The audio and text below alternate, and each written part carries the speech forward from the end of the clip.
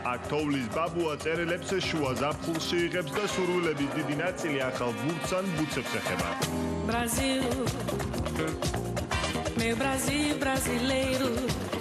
ბრაზილიელი ფეხბურთელების უმრავლესობამ თამაში აი ესეთ გრუნტის ან ასფალტის მოედანზე ფეხში შოლმა დაიწყო.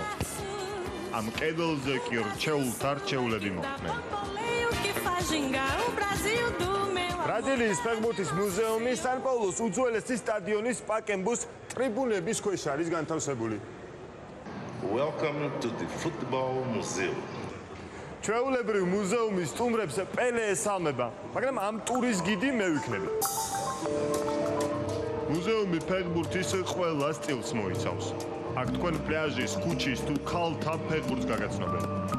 თუმცა პირველი დარბაზი ბალახის ფეხბურთის ბრაზილიელ ღმერთებს ეძღვნება.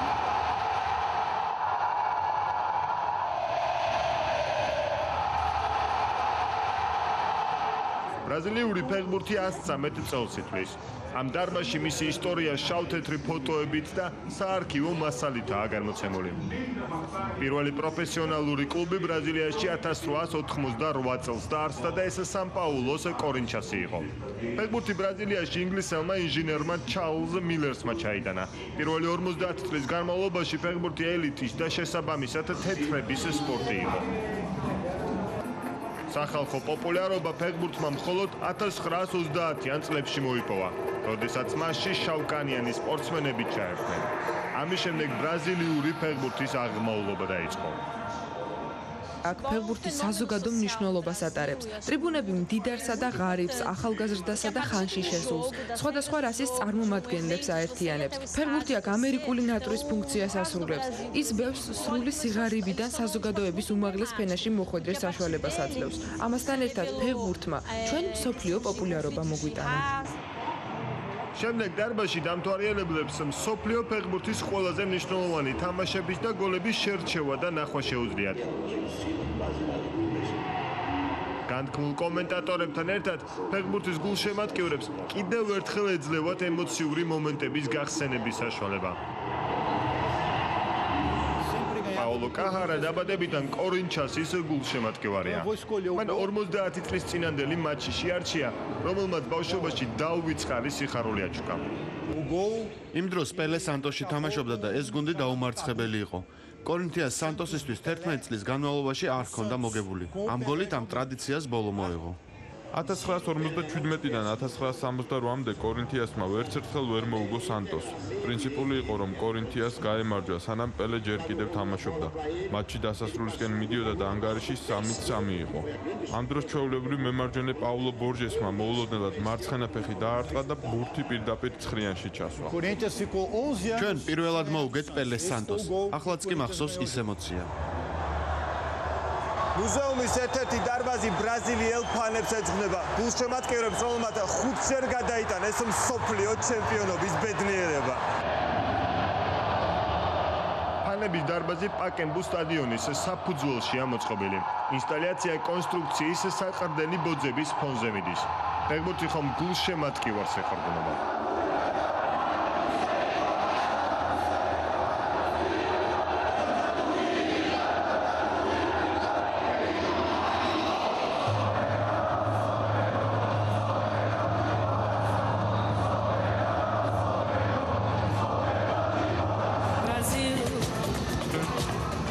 შემდეგი დარბაზი ბრაზილიის ნაკრების ხუთივე დიდი გამარჯვების ისტორიას ყოფა.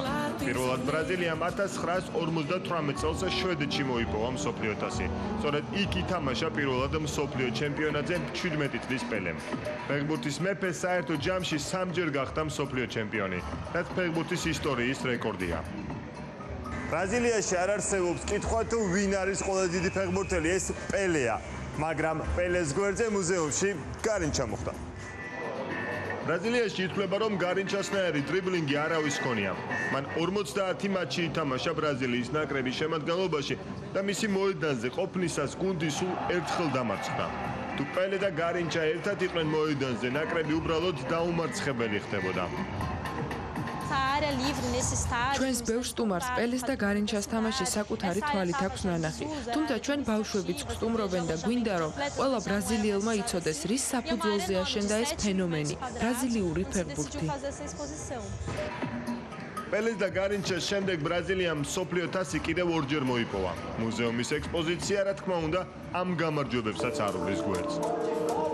მუზეუმი სპეციალურად მომავალი მსოფლიო ჩემპიონატისთვის გაიხსნა.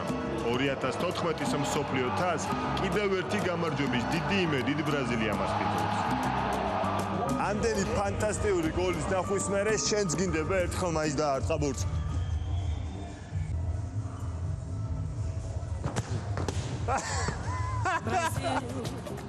როგორ ჩანს ეს სპორტი ჩემი ნამდვილად არა და უფრო იმათია ვინც ბავშვობაში თოვლის ბაბუას ზაფხულში თხოვდა საჩუქარს